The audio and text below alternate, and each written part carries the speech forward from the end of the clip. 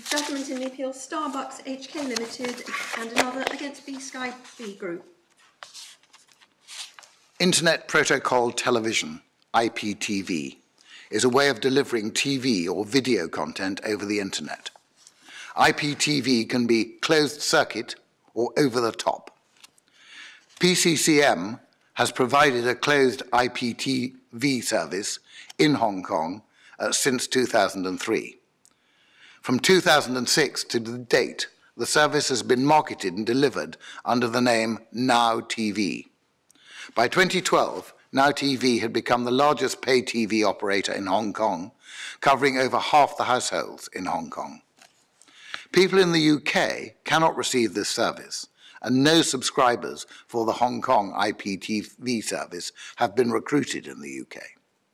However, a number of Chinese speakers in the UK in 2012 were aware of the uh, Now TV service as a result of exposure to it uh, when residing in or visiting Hong Kong, or from viewing Now TV programs on YouTube and other websites in the United Kingdom.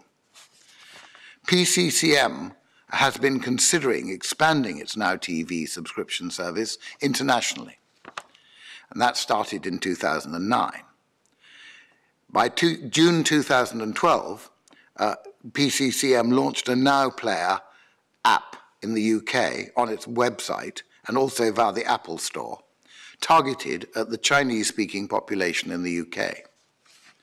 Meanwhile, in March 2012, just before that, Sky announced that they intended to launch a new over-the-top IPTV service under the name Now TV. The Sky service was launched in beta form in mid-July 2012. In April 2012, PCCM began proceedings trying to prevent Sky from using the name Now TV in connection with Sky's IPTV service in the UK on the grounds that the use of the name Now TV amounted to what's called passing off. The law of passing off uh, prevents one trader from passing off its products or services as the products and services of another trader. At first instance, the judge found that a substantial number of Chinese speakers, permanently or temporarily in the United Kingdom, were acquainted with PCCM's Now TV service. He also found that PCCM's Now TV service had acquired a reputation amongst members of the Chinese-speaking community in the United Kingdom, and that this reputation was modest, but more than very small. However, he found against PCCM because viewers of PCCM's programs in the United Kingdom were not customers for its service, and that for the purpose of passing off, it was not enough for PCCM to establish that it had a reputation among a significant number of people in this country if it had no goodwill in this country. PCCM's appeal to the Court of Appeals dismissed, and PCCM now appeals to the Supreme Court. The Supreme Court unanimously dismisses the appeal for reasons which I give in a judgment with which Lord Sumption, Carnwath, Toulson and Hodge agree.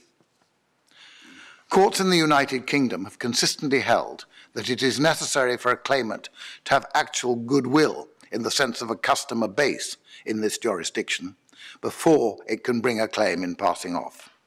Where the claimant's business is abroad, people who are in the jurisdiction, i.e. in the UK, but who are not customers of the claimant in the jurisdiction in the UK, will not do, even if they are customers of the claimant when they go abroad.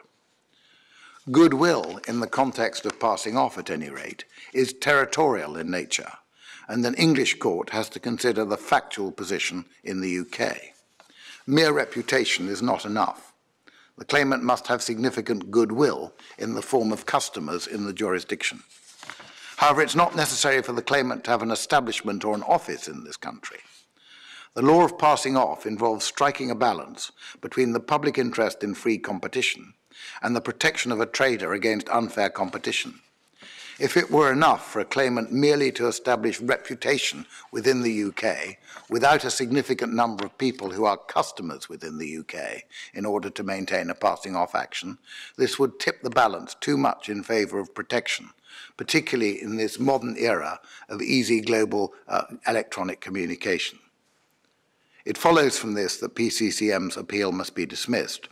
Its business is based in Hong Kong, and it has no customers and therefore no goodwill in the United Kingdom.